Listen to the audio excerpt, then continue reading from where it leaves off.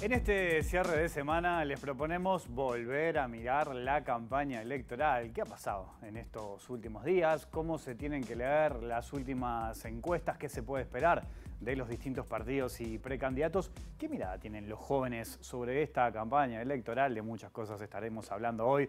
Bienvenidas, bienvenidos. Ah, sí, comienza la 2B.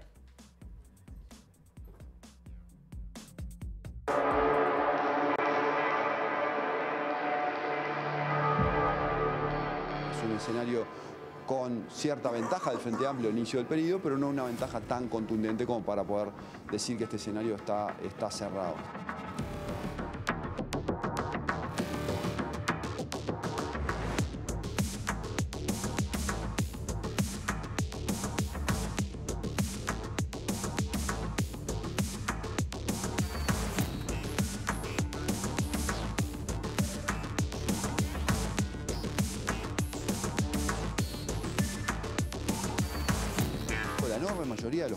En todos los partidos son candidatos nuevos. ¿no? Hay muy pocas excepciones de candidatos que, que repiten y eso genera también evidentemente un marco de incertidumbre.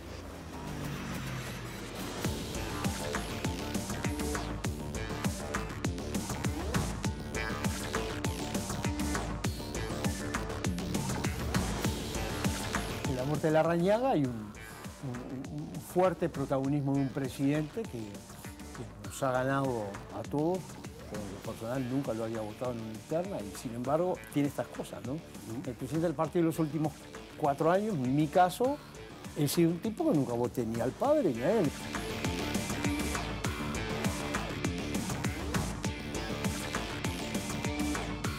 Las encuestas son un elemento que hay que tener en cuenta, pero nunca puede ser el determinante de una campaña, por lo menos no de la nuestra. A mí me parece que los temas importantes son los temas urgentes del país, ahora mismo. El tema de vivienda me parece un tema fundamental. Nosotros lo llamamos cambio alquiler por vivienda, por propiedad, perdón. De modo que pagabas 15, pagabas 18, pagabas 20 de alquiler, bueno, pagás lo mismo, pero vas comprando tu apartamento. Eso es lo que tenemos que lograr, es uno de los objetivos del próximo gobierno. Hoy, en alguna de las mediciones, eh, algunas encuestadoras, que también son, repito, son fotos, pero que, pues tienen, son importantes, nos dan que en octubre podríamos ganar en primera vuelta. Yo, más allá de si se puede concretar o no, y sabiendo que las elecciones son muy duras y muy parejas, eh, como fuerza política los resultados son alentadores.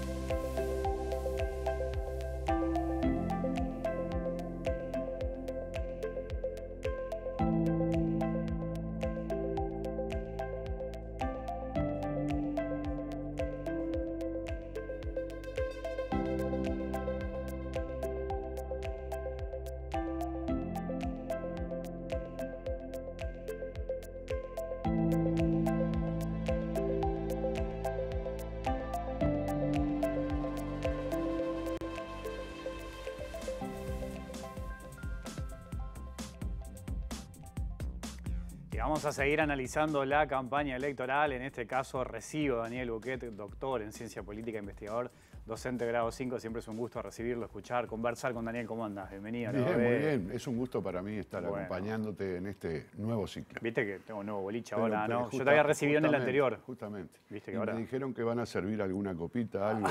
bueno, sí. No sos el primero que me, tira al pasar eso, vos sabés. Lo tuyo fue más directo. No sé. Aparte es viernes, viste que se presta, capaz. ¿eh? Bueno, por lo pronto tenemos un vaso con agua ahí. Después vemos cómo va avanzando la noche, cómo va avanzando la discusión política en ese sentido. Bueno, es un gusto tenerte por acá, este, Daniel. Para hablar de la campaña siempre es muy interesante escucharte.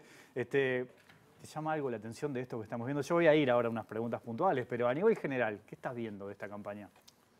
Bueno, se puede encarar desde muchos aspectos, pero tal vez miremos de una manera como muy enfática la evolución de la opinión pública, y acá hay como dos variables cruciales que aparecen este, con valores contradictorios. Una de ellas es la conocida intención de voto. El Frente Amplio viene con una intención de voto arriba del 40% ya desde hace tiempo, con algún punto, dependiendo de la empresa, en fin, incluso mucho más cerca del 50%, pero arriba del 40% de manera muy estable. Y esta intención de voto eh, se parece a la intención de voto por el Frente Amplio en las elecciones que el Frente Amplio terminó ganando. O sea, si mirás esa variable, claro, una variable sola, yo qué sé. Decir, bueno, esto pinta como para que el Frente Amplio va a ganar. Pero del otro lado, la otra variable que todo el mundo analiza es la aprobación del gobierno. La aprobación del gobierno es muy buena, arriba del 40%, incluso cerca del 50%. Y este nivel de aprobación del gobierno también es el mismo que tuvieron los gobiernos del Frente Amplio cuando ganaron. Claro. Entonces, eh, yo por eso te digo, si miramos estas dos variables que son las más conocidas, las que más se usan en el mundo, las que más tienen que ver con los resultados electorales, no quiere decir que automáticamente se traduzcan en un resultado. Tenés dos pronósticos contradictorios. Si miro un lado, digo, bueno, lo más probable es que gane el Frente Amplio. Si miro el otro lado, digo, no, lo más probable es que se reelija el gobierno. Es interesante. Más adelante le cuento a la gente también. Vamos a estar conversando con Tomás Casareto y Florencia Argul, dos jóvenes del Partido Nacional y del Frente Amplio, para saber también cómo están viendo desde las juventudes de los distintos partidos esta campaña electoral. Eh, Daniel, hablar de campaña sucia no es nuevo, ¿no? Estamos de acuerdo que eso viene desde hace mucho tiempo, hay distintas estrategias, elementos.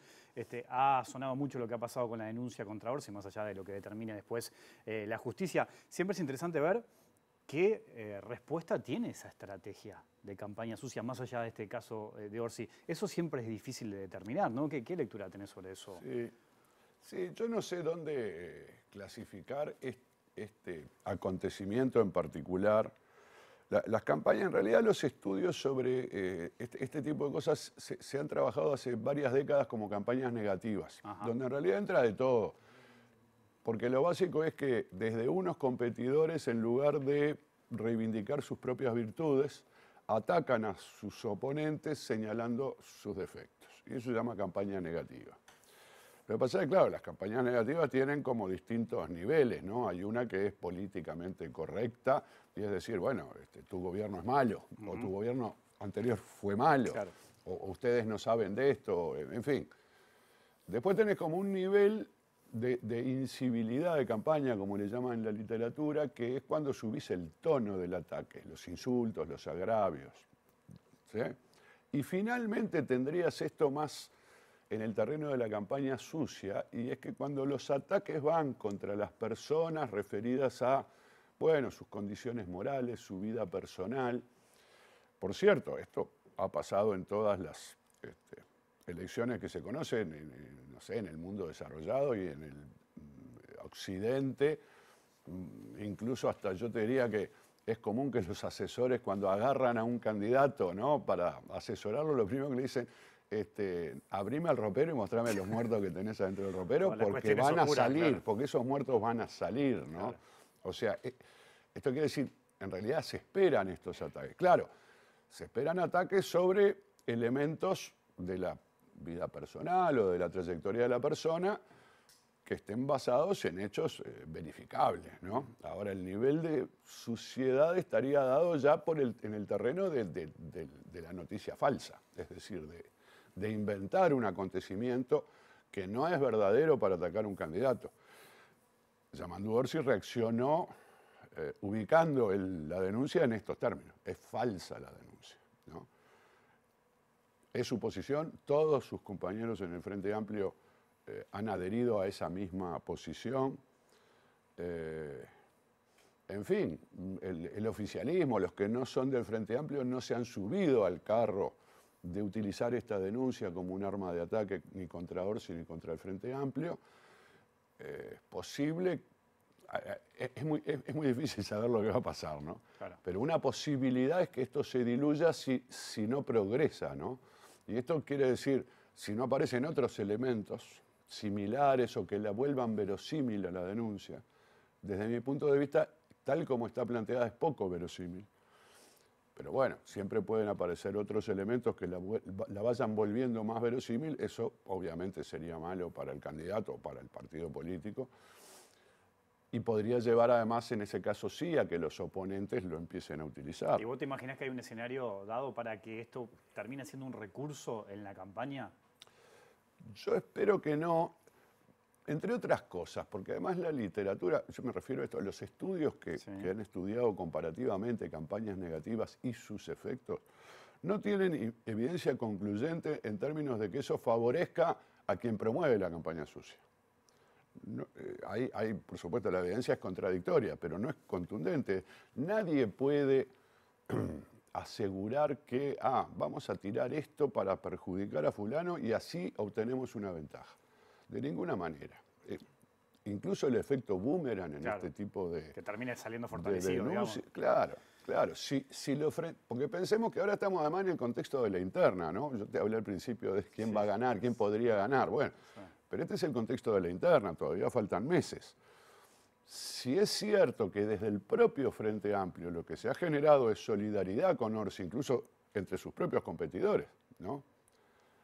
Yo digo, en estos términos hasta es posible que lo fortalezca y no que lo perjudique. Habrá que ver, ¿no? Justo las encuestas que salieron eh, hace poco sobre, sobre internas son todas anteriores a que se conociera este elemento. Entonces, bueno, ni siquiera tenemos algún elemento como para especular. Mirá, bajó Orsi, entonces le pegó mal, o subió Orsi, le pegó, lo favoreció. Y ahora, Daniel, a propósito ¿no? de la interna del Frente Amplio, ¿cómo la estás viendo? Porque recién veíamos en el T disparador la última encuesta de equipos, mm.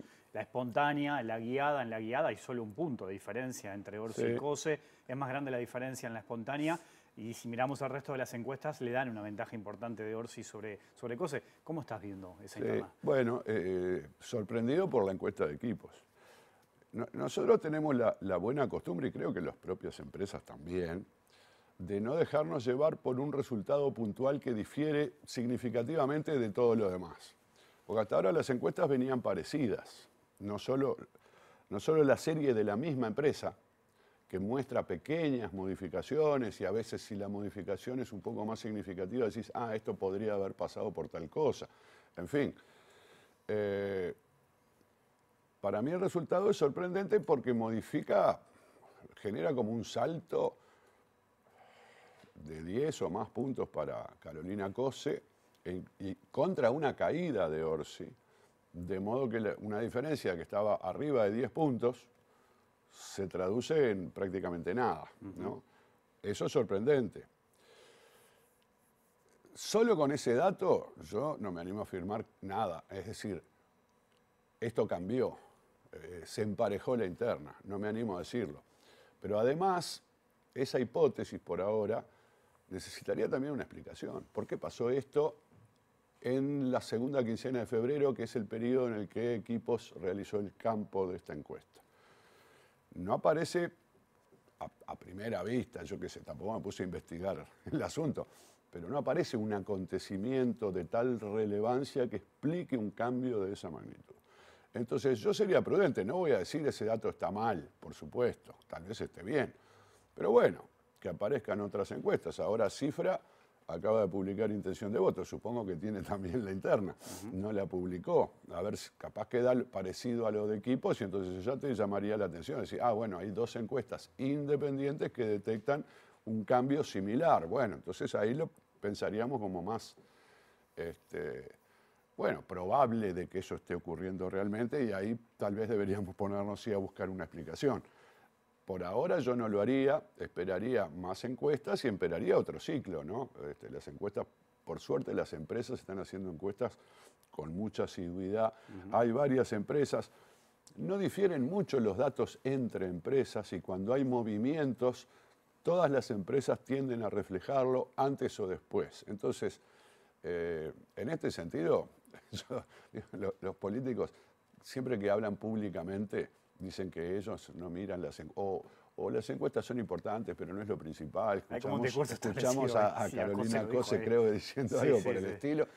Pero después los políticos están desesperados. ¿Qué salió? ¿Cómo salió la encuesta? ¿Qué salió en la encuesta?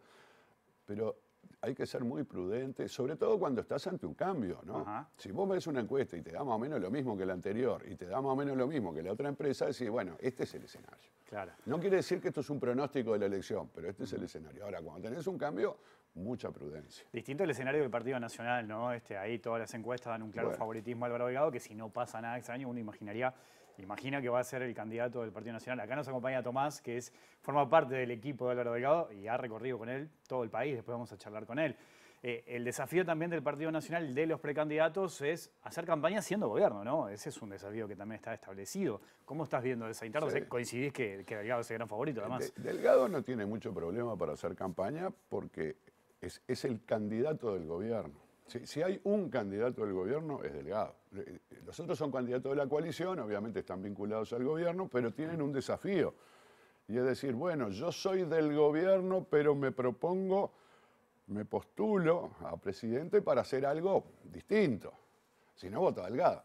Delgado tiene la ventaja de decir, bueno, no, yo soy la continuidad del gobierno, es cierto, su eslogan, no sé si el eslogan es el eh, oficial, digamos, de, construirle un piso arriba, bueno, obvio, no, voy El segundo piso, digamos, ¿no? Sí, el segundo piso, ¿no? Es decir, no, es que voy a hacer lo mismo o no voy a hacer nada y voy a hacer la plancha, es voy a seguir en esta misma dirección. Este gobierno ha sido bueno, y yo voy a seguir en esta misma dirección.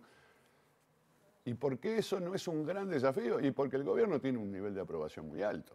Entonces, yo creo que en ese sentido eh, eh, está en un contexto favorable para, para, para seguir en esta situación, como vos decís, con una diferencia que según las encuestas, y a diferencia del Frente Amplio, es muy holgada sobre su primera competidora. Estamos hablando de 30 puntos, es decir, una diferencia Orsi tenía, hasta antes de esta encuesta de equipos, una diferencia que lo favorecía respecto de COSE, pero estamos hablando de 10, 15 puntos, 20 como mucho, ¿no? Acá es mucho más.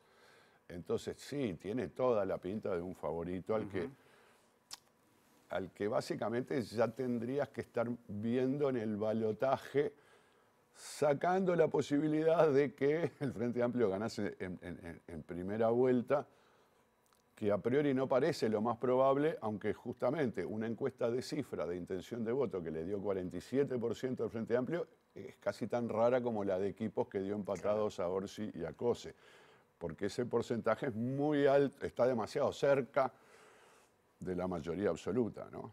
Ahora, si pensamos que el escenario es que el Frente tiene 42-43 de intención de voto, que va a votar obviamente arriba del 40, bueno, es posible que haya balotaje, Delgado está puesto.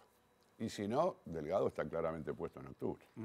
El que mira que lo dijo en las encuestas y la celebra es Ojeda en el Partido Colorado, ¿no? No sé si vos lo tomás como una sorpresa eso, esa precandidatura. Es muy especial la interna del Partido Colorado por la cantidad de precandidatos que hay, ¿no? Por ese intento de renovación que tiene. Este, ¿Cómo lo estás viendo? Es, bien particular. Ahí es muy difícil interpretar las encuestas porque ahí hay un problema además de, márgenes de error más elevados, o sea, la submuestra de colorados, cuando, cuando la intención de voto en las internas se hace a partir de los que dicen que votarían a este partido, ¿no? Y entonces dicen qué candidato de ese partido prefieren, bueno, los colorados son menos. Entonces ya tenés un problema de margen de error. Vos a eso sumale que tenés muchos candidatos.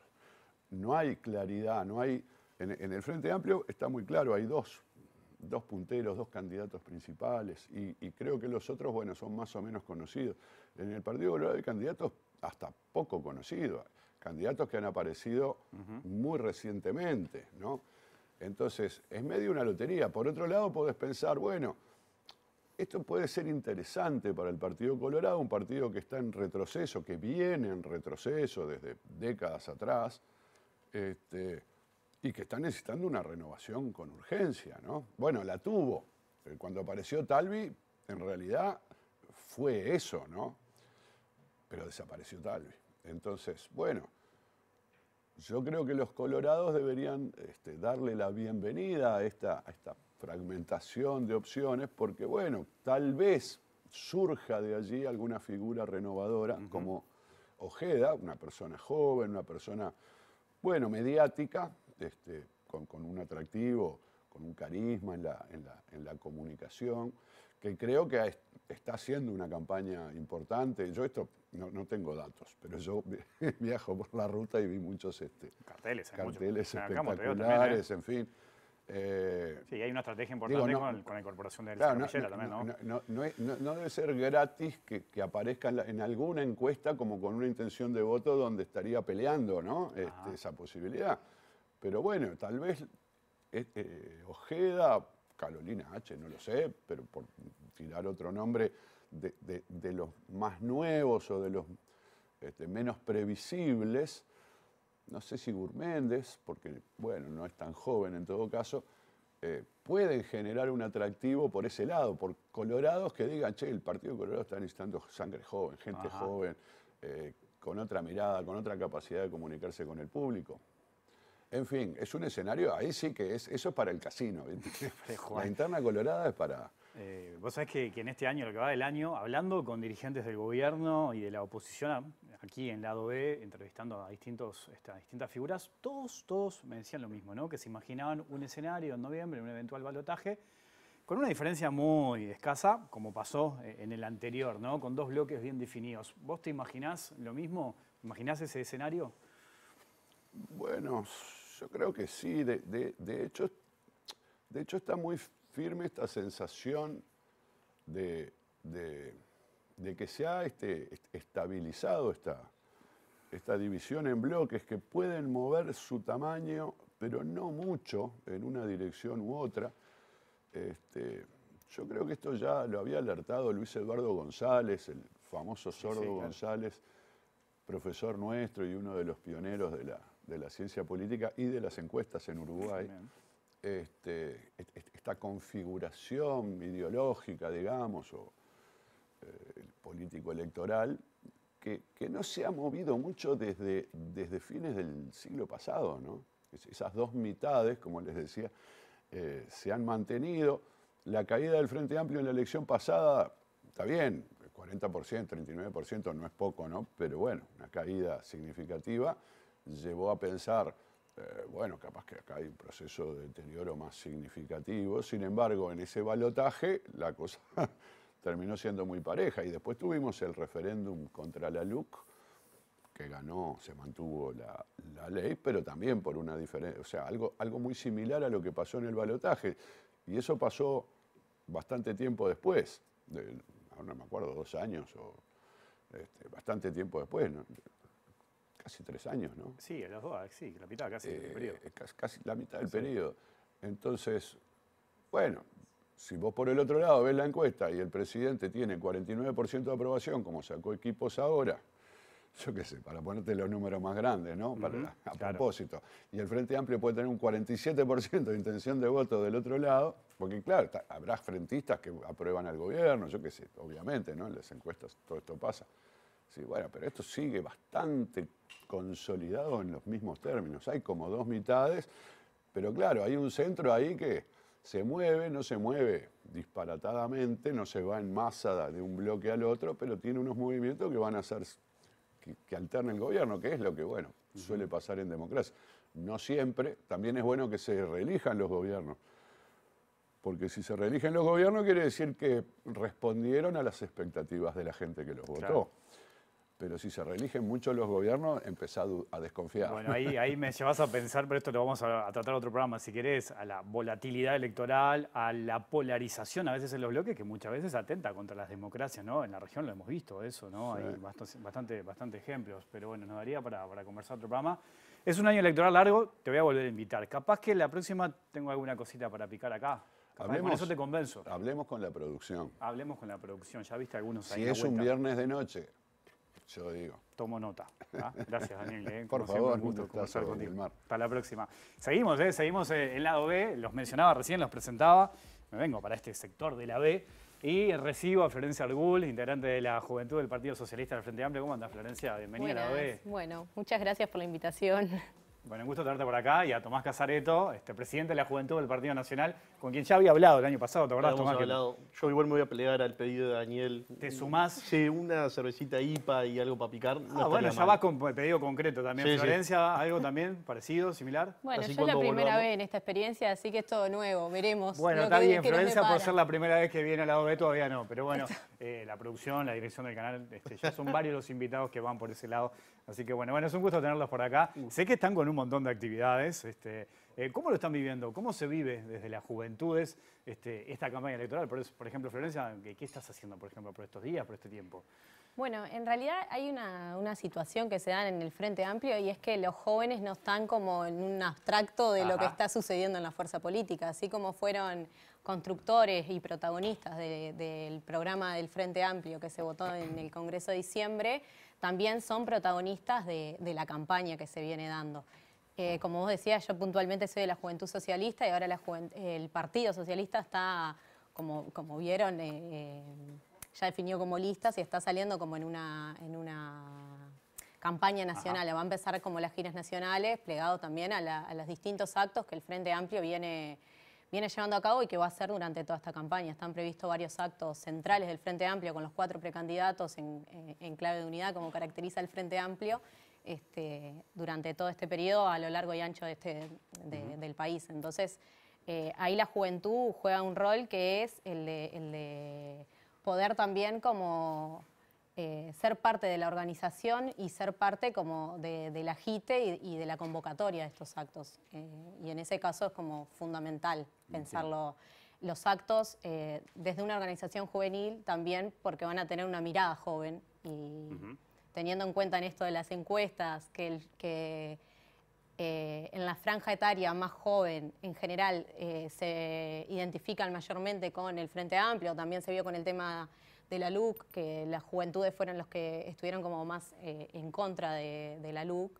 Este, bueno, es fundamental que, la fuerza política les abra la puerta y, puedan eh, verse reflejados lo, que, lo que piensan, digamos. Tomás, recién lo mencionaba, ¿no? Formás parte del equipo de Álvaro Delgado, estás recorriendo este, el país, han recorrido prácticamente todo el país. ¿Cómo está haciendo ese trabajo, por ejemplo? A, ver, primero que nada, yo creo que las juventudes van a ser parte importante de, de esta campaña.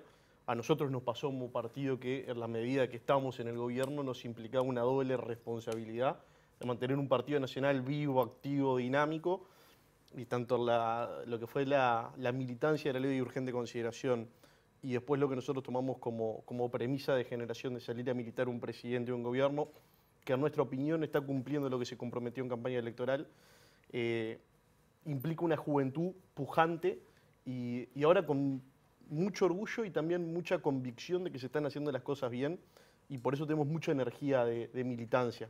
Yo en lo personal ahora hace dos semanas nada más pedí licencia por cuatro meses en la juventud para dedicarme al 100% de la campaña de Álvaro, porque nosotros tenemos una juventud institucionalizada con elecciones de jóvenes, ya vamos por la cuarta, y, obviamente el presidente tiene que representar a, todos los sectores y poder trabajar eh, mano a mano con todos los precandidatos. Y obviamente eh, yo ya estaba jugado a, una candidatura, entonces ahora pedí licencia por cuatro meses.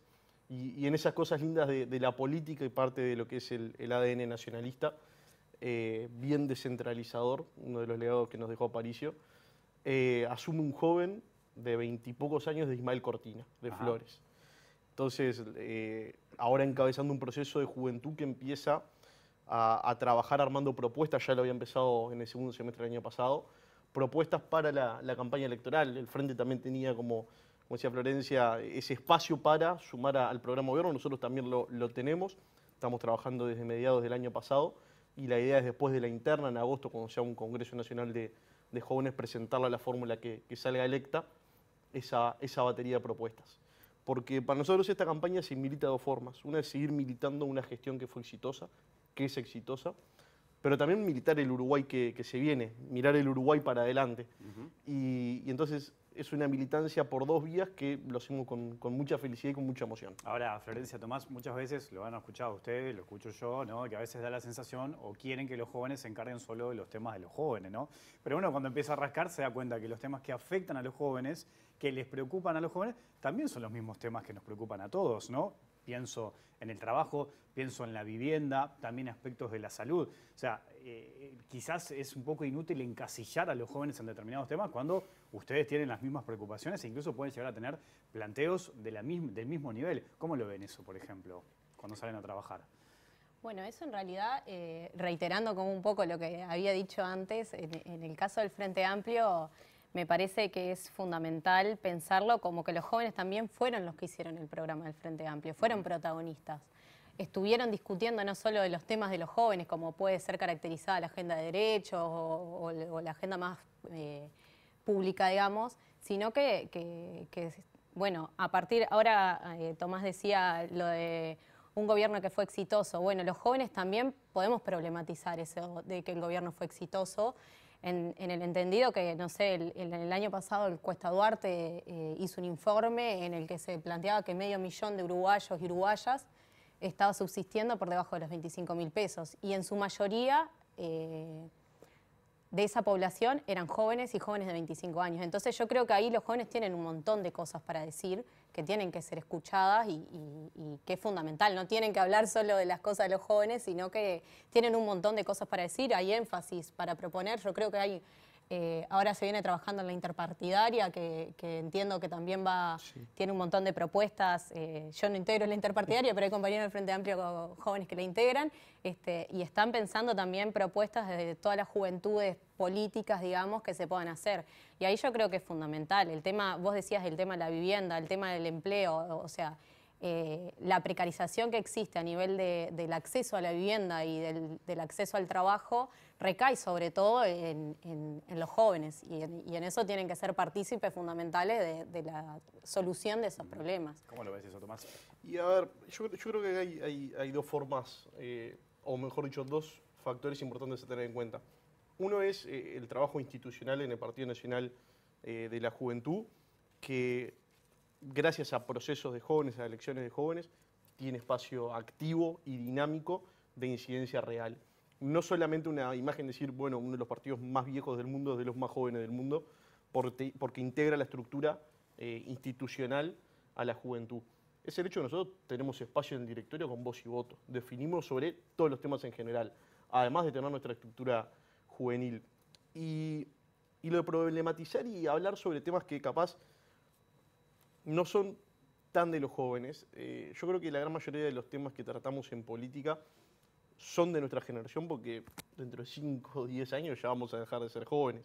O por lo menos relativamente jóvenes. Acá en Uruguay es relativo eso, ¿no? Pero bueno, está. Pero te quería un ejemplo que eh, en lo personal a, mí me, llena de orgullo como, como joven del Partido Nacional. El año pasado, más allá de trabajar en lo que fue la conformación de, de las mesas de juventud y, y la formación de los jóvenes y lo que iba a ser un eventual aporte al programa de gobierno, tuvimos un eh, compromiso muy fuerte con lo que fue la militancia de la reforma de la seguridad social. Y, en ese momento que todavía no estaba planteado el tema de si derogarlo o no por el Frente Amplio y si hacer una campaña para, para derogar la reforma, muchos compañeros del partido, no tan jóvenes o relativamente jóvenes, nos plantearon, vale la pena entrar en ese tema y avivar a la oposición de que va a ser un tema de campaña. Y nosotros con, mucha humildad dijimos, si el presidente y el gobierno tuvieron el coraje de llevar adelante una reforma de la seguridad social, nosotros tenemos que tener el coraje para militarla. Y fue la juventud la que generó insumos para que no solamente los jóvenes, sino todas las personas del partido y la ciudadanía en general tuvieran acceso a saber eh, qué implicaba la reforma.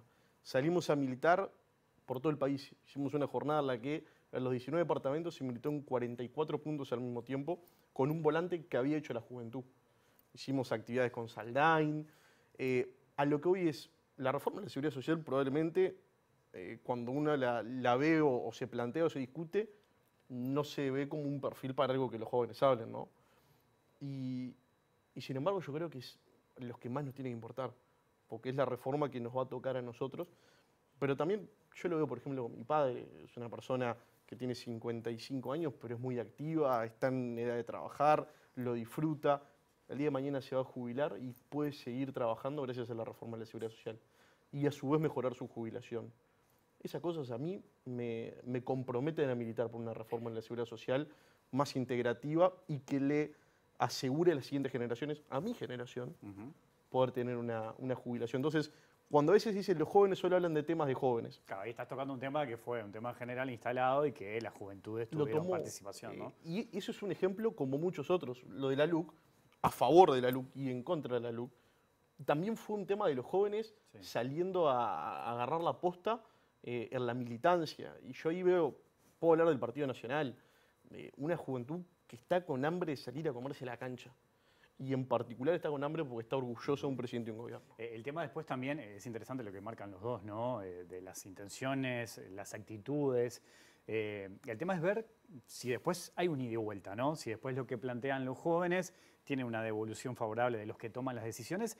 Y hay otro aspecto importante y es cuando los jóvenes pueden llegar a acceder a cargos de decisión o a tomar, bueno, algún puesto que diga, bueno, lo que, a ver. Ahí si me, permitís dos puntos, y son ejemplos clarísimos.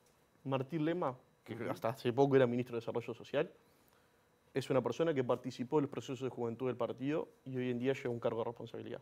José Yurramendi y Nicolás Olivera, intendentes, misma situación. El Diego Rodríguez de, Montevideo, lo mismo. Eh, José Luis Atián, su secretario de Salud Pública, misma situación. Todas personas que nacieron o participaron de los procesos de juventud. Ahí tenés un ejemplo claro de gente que llega a cargo de responsabilidad. Pero no necesitas solamente llegar a cargo de responsabilidad para tener incidencia desde la juventud. Y ahí te voy a dar el ejemplo, nosotros en 2019 presentamos un documento eh, de propuestas para lo que iba a ser un eventual gobierno encabezado por el Partido Nacional. Hoy en día, casi el 100% de esas propuestas que hicimos están concretadas. El Inju Móvil, por ejemplo, una camioneta ploteada del INJU que recorre el país a las localidades más chicas para acercar la institucionalidad del INJU a, los jóvenes de las localidades más pequeñas. Eh, la reestructura de lo que es el INJU, la ciudad universitaria que ya está inaugurada y tiene jóvenes de todo el país, lo que le facilita un tema habitacional, pero también una cobertura de muchas cosas de seguridad social del MIDES que da, que, le da un enfoque más. El tema salud mental, eh, si bien yo vi una ley, la juventud planteó que era una cosa que se tenía que tratar con mayor profesionalidad y hoy en día se le dio fondos para ejecutar la ley que ya se había votado, a la cual no se le había dado dinero. Todo eso surge de iniciativas de jóvenes que se llevó el gobierno y se están llevando adelante. Florencia, ¿qué mirada tenés sobre eso? Bueno, a mí hay varios puntos que fueron quedando que en realidad me parece que, es fundamental esto que él planteaba sobre el tema de la reforma jubilatoria eh, en realidad me parece que ahí desde el Frente Amplio, si bien no hay, hay libertad de acción y hay una visión que, no es común, digamos, sobre, sobre el accionar eh, que hacer, yo soy del Partido Socialista, el Partido Socialista es uno de los sectores del Frente Amplio que está recolectando firmas. Este, y me parece que comparto totalmente que es una visión juvenil. La juventud socialista, de hecho, es una de las juventudes eh, políticas que está juntando firmas para esto, para derogarlo, porque entendemos que eh, si bien la expectativa de vida de un tiempo a esta parte ha crecido eh, o ha aumentado, es fundamental que podamos eh, tener derecho al goce, a, vivir nuestra vida más allá del trabajo, digamos.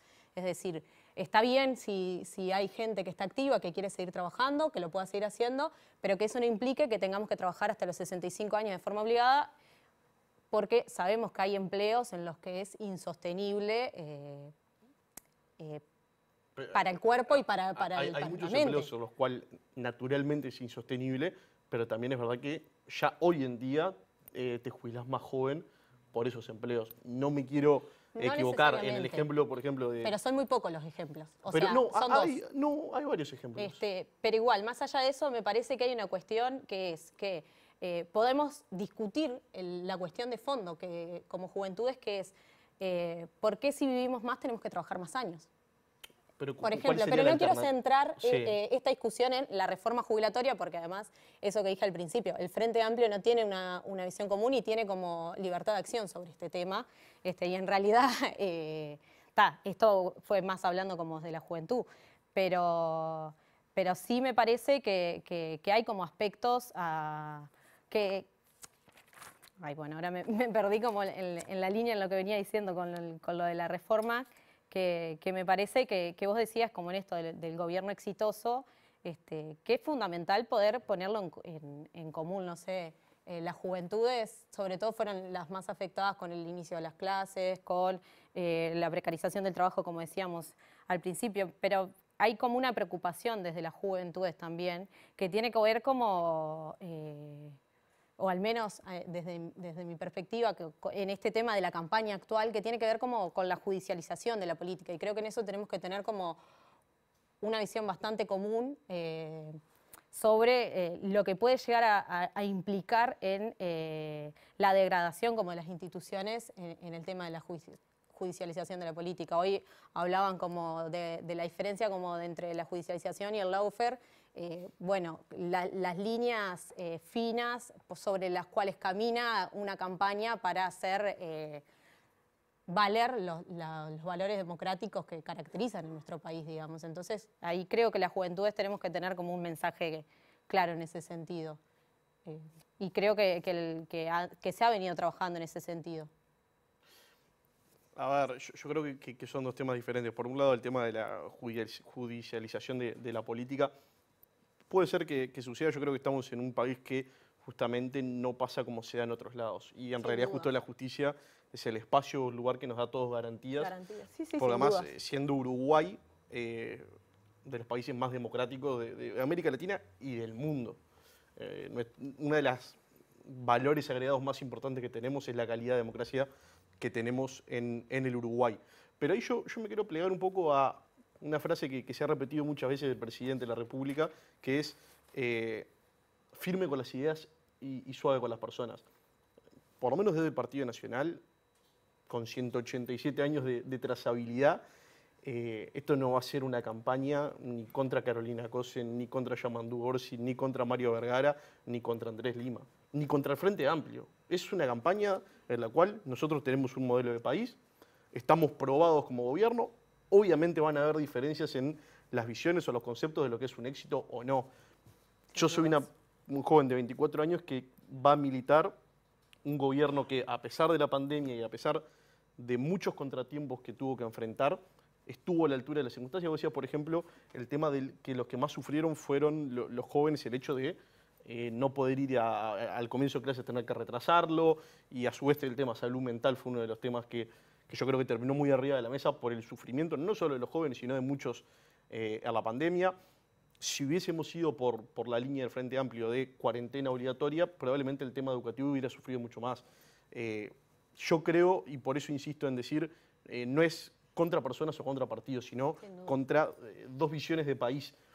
Acá van a tener un joven que va a militar por un gobierno que hizo lo que dijo que iba a hacer, que cumplió con lo que se comprometió, reforma de la seguridad social, transformación educativa, hay récord de exportaciones, récord de inversiones, récord de empleo, la inflación más baja en 20 años.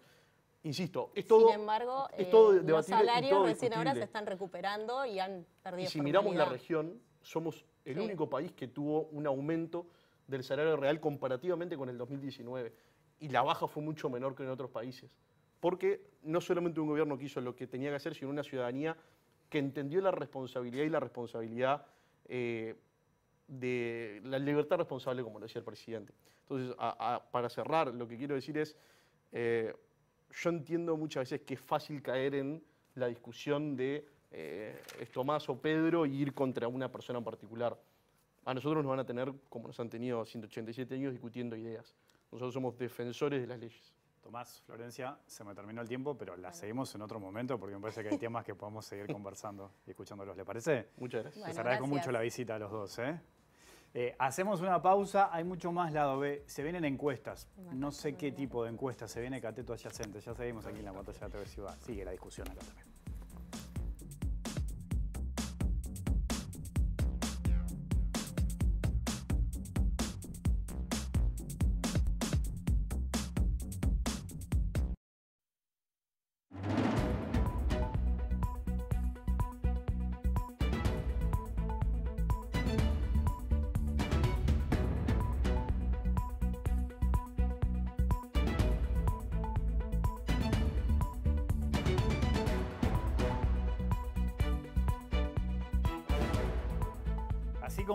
Los informativos, los programas periodísticos serios tienen sus encuestas. El lado B y Cateto Adyacente, como ustedes vieron recién, tiene su presentación y está abriendo este espacio también.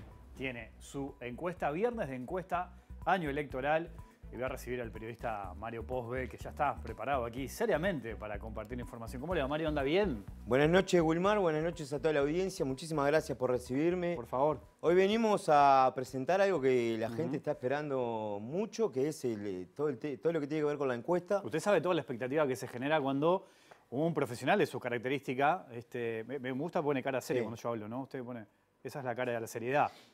No entiendo la risa de los compañeros. No, no, estoy Esa es la cara de la rigurosidad. Rigurosidad. Porque usted no, no le Esa es la palabra. Rigurosidad.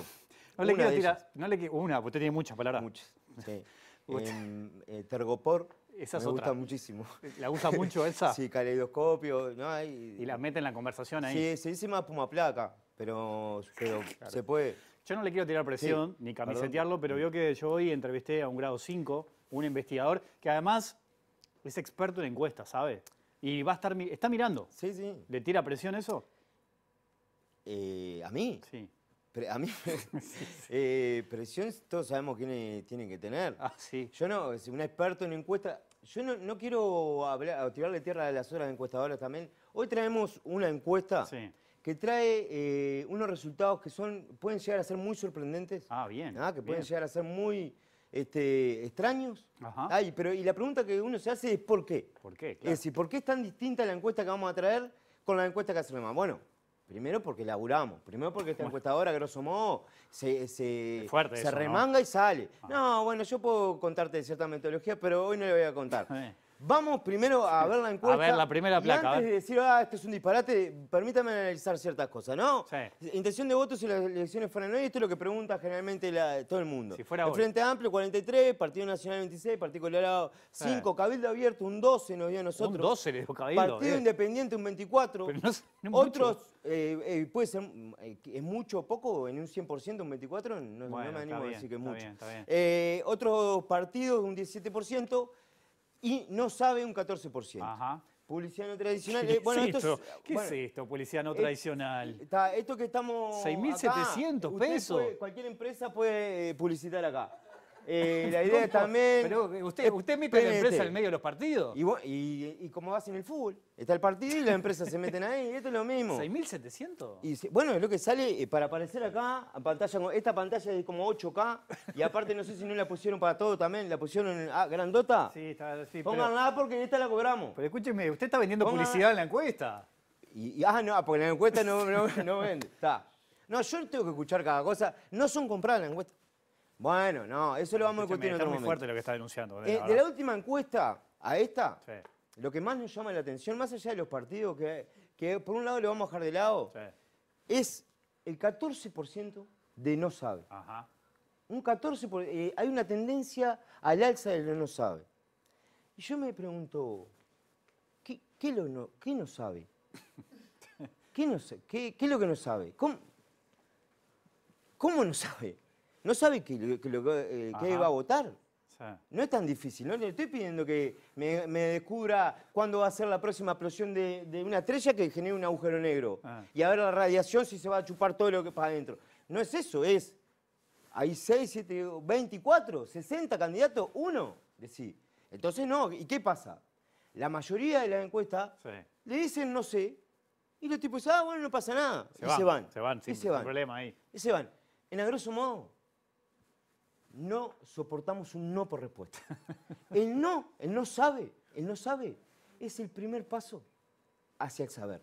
El no sabe es el final del camino. Qué profundo, ¿no? Y ahí arranca, en el no sabe arranca el nuestro.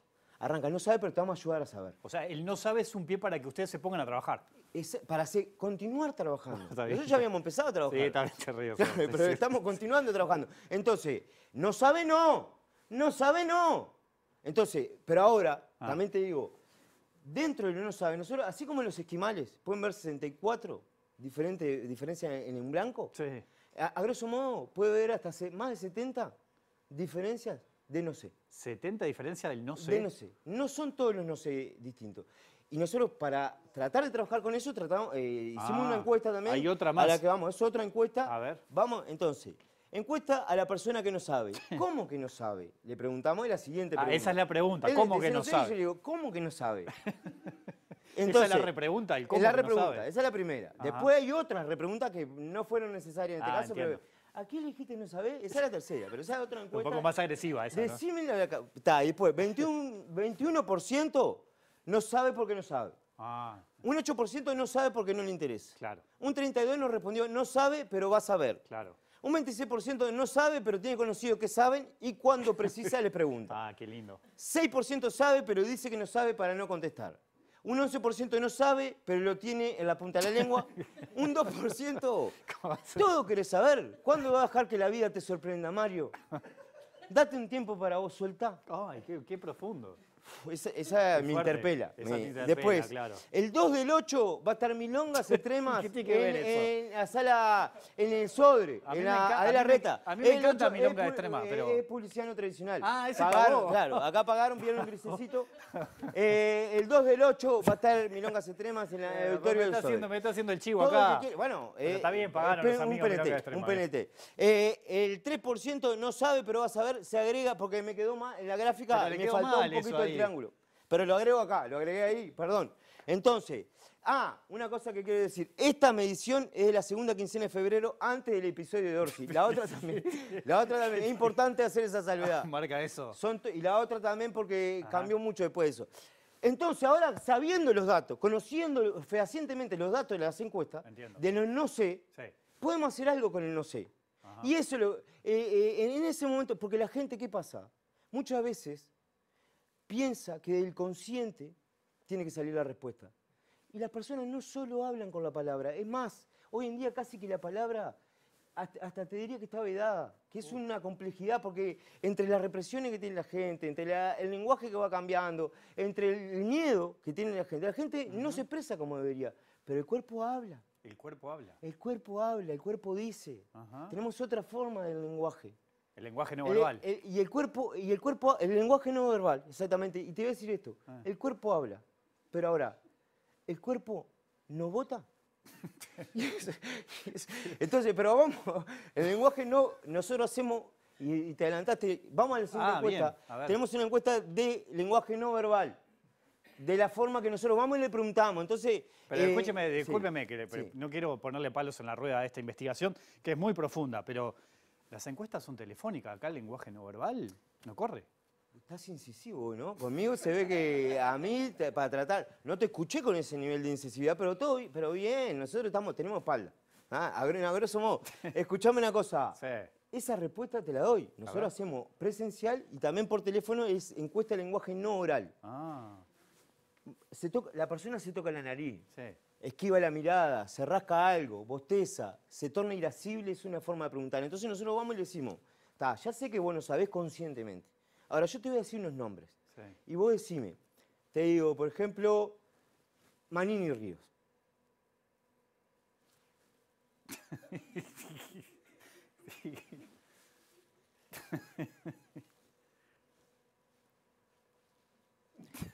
Entonces, nosotros, no, no, yo lo tengo codificado, pero no le voy a decir a la gente para que la otra encuesta sepan. Ah, para que le roben material. Eh, claro, entonces nosotros ahí sacamos este, o Frente Amplio, pregunto Frente Amplio, a veces algo más genérico. Carolina Y también.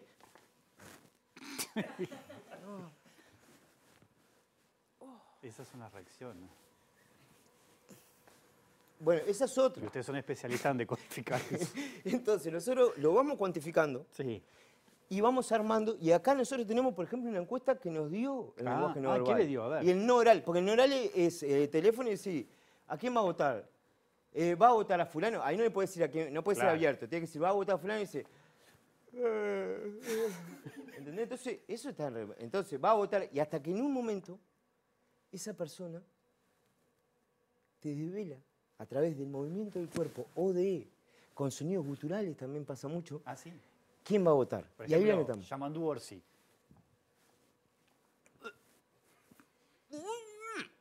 Y usted ya sabe ahí con eso quién va a votar. Que lo va a votar o que no lo va a votar. Sé que capaz que no vota Orsi. Ah.